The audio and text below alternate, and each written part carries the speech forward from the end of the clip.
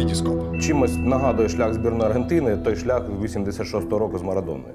Тоді ж також фактично всю команду витягнув Марадона один до Індієго. Він тоді, е, от як зараз, в 2014-му Месі, адже фактично всі вирішальні м'ячі він забиває. Все, всі вирішальні і. е, Ну, він тягне за собою цю команду. І команда, так само, як і в 86-му, грає на Месі. Е, Зараз, якби, принаймні, я спостерігаю, що е, в плані командному Аргентина е, так, вона така динамічна, е, швидкісна, достатньо силова команда. Але от в плані індивідуальностей е, все одно, от Месі, коли в команди не виходить, то він тоді все вже бере в свої руки і от намагається, як той Марадон на 86-му, витягувати.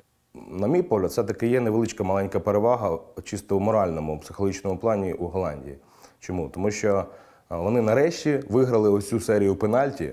У них є от сильний дуже тренер Луї Ван Гал, який це вже демонструє, про що ми навіть на початку говорили перед чемпіонатом. І от він це доводить. І ось о, Ван Гал він чимось навіть трошки схожий з Льовом. Вони різні, абсолютно різні, але вони схожі тим, що у них є одна віра, і команда повністю їм підчиняється. Мені здається, от так. Я десь навіть в душі буду за Голландію суб'єктивно, тому що мені ця команда імпонує, і вона ще жодного разу не була чемпіоном. Дуже багато українців за Голландію вболіває. І якось дуже ми так злилися із ними після того, як вони ще і вболівальники на євро приїжджали в Харкові були. Нехай вони там і невдало виступили, так склалося. Але це команда, яка жодного разу не була чемпіоном світу. Вона вже мала скільки шансів.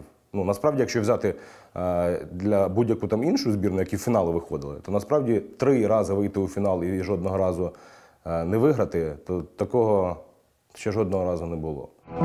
Вітіскоп. Спортивне відео.